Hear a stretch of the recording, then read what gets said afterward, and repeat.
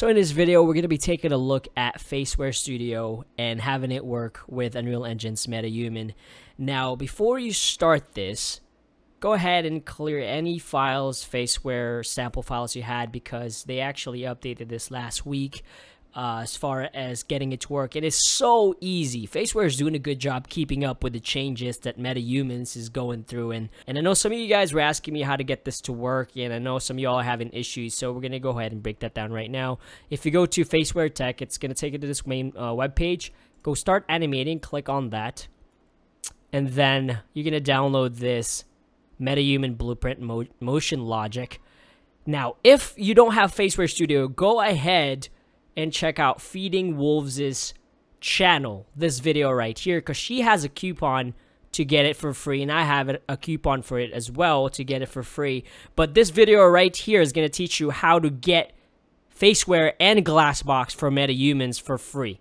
So watch this. It's going to teach you how to install the entire thing. Okay, so we have here the Faceware MetaHuman Motion Logic sample. It's going to move it here, and I'll extract it here so you can see it. Okay, so it's going to be right here. Once you extract that, you can have this content folder. Now, in Unreal Engine 4, I created a brand spanking new project here. Now, as far as ins installing it, I already have it installed in my plugins. Like I said, go watch her video how to install it. I'm just showing you how to get this to work. I'm going to copy my plugins in Live Link Client. Okay, so all I got to do is copy those two files into my Faceware project, paste it here, and that's going to install the plugin. And now what I'm going to do is close the project and just reopen it back up and then live link faceware should be in there now. So we have our new project here, brand spanking new. Nothing is in here, no plugins are installed. So the next step is going to be getting our MetaHumans in here, okay? So go to the bridge and you're going to see all my characters. You've probably seen majority of these guys already from my movie. So we'll just pick uh, Vivian 2 right here and then actually no I don't have to download that. So let's look at Vivian 1 we'll export that and it's gonna take it straight to Unreal Engine 4 so you can see that's gonna start importing because that's connected to bridge which is kind of sick. It's one click away. But we are gonna have to restart our uh, Unreal Engine 4 here because I'm gonna have to enable some plugin. Okay so we're back in our project here. And I'm gonna change the camera speed and now we have a MetaHumans folder where Vivian is. Now all you have to do here, go ahead and create a child blueprint class. It's loading for a second. Just give it some time. Let's create a child blueprint class so you don't have to mess around with your original just in case. And let this compile some shaders as well. So let's go ahead and drag and drop Vivian child. Alright, so now I usually use the uh, sequence recorder, but I know that's going away, so I'll show you guys how to do it in the take recorder. So if you go to the right side right here, add a new component, click on Vivian, your MetaHuman, and then type Faceware. Should be right there. And all you have to do is go ahead, get all this done. Configuration right here, and just type in edit editor live stream. Okay, and just make sure that this address right here is the same as your Faceware Studio. So let's go right here. Should be all set up. Port 802. Same thing here. Right there. Port 802. And the, the address I don't even change. I leave it as is. Okay, and then the next thing you need to do is click on the BP again, go to face, and change this Anim class to the uh, Faceware MetaHuman face. And really, that's it.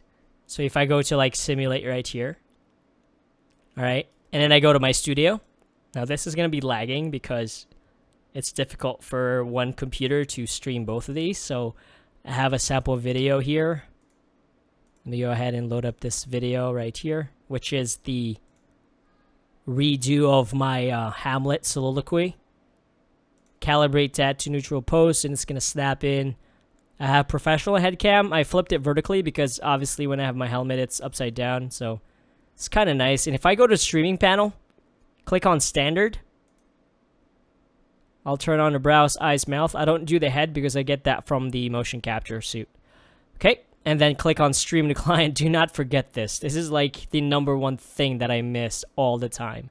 Stream to client, and I'm going to press play. And then whenever you go to Unreal, I'm going to press stop and then simulate again. There you go.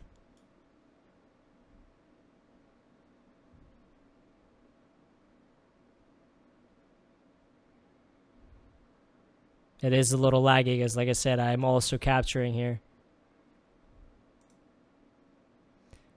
Pay attention to this right here. You see that tracking FPS? I'm getting 20, 23, 20, 39. You definitely don't want that dropping. You want that at least 30. But like I said, it's really slow because I'm capturing here.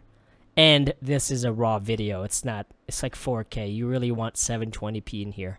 So I'm going to go ahead and stop this for now. So it shouldn't be lagging like that in your system if you're just watching. So if we go to Windows, Cinematics, let's grab a take recorder. Grab Vivian right here, and I'm going to drag and drop her right here. If you go to the actual blueprint, you can scroll down. You can actually turn off a lot of these things here. So if I go down, go to body, can actually turn off the body and just turn on the face right here. I'm going to simulate that. And I'm going to press record. Oh, this is going to kill my computer. So this is probably not going to be real time, guys. Alright. I'm going to stop it. And it's going to do its thing. Take recorder is done. And let me go ahead and stop this right here. And then what you need to do is go to cinematics so you can find your take. Now, we usually hide the BP that I just used because it's going to duplicate it. So, actor hidden in game. I'll double click right here. And if I press play here, you'll now see that facial movement. And that is how you get it in a sequencer. Additionally, if you create a new cinematics, save whatever, and then you get Vivian back in there, just make sure you change the face blueprint back to the regular one. It should be like face and in blueprint. You can track her in a sequencer. Delete the MetaHuman rig in the face. If you go here and track the face and the animation, you're actually going to see that thing you just recorded right here. See? So now you can add a camera in there. Change the focus.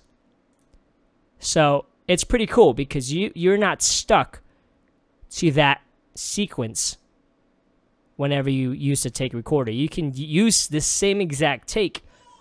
You can use that same take in a different sequence. And actually suggest for you guys to, and girls, to record and stream your facial animation in a blank map like this, and then go to your map level where your environment is, and then load the animation this way. Because you can see I'm getting 120 frames per second in here.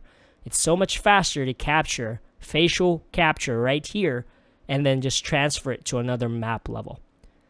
Well, hopefully that helped you guys out. Uh, hopefully uh, you guys can get this to work. It's really easy. Faceware, like I said, is trying to keep up with the changes that's happening with metahumans.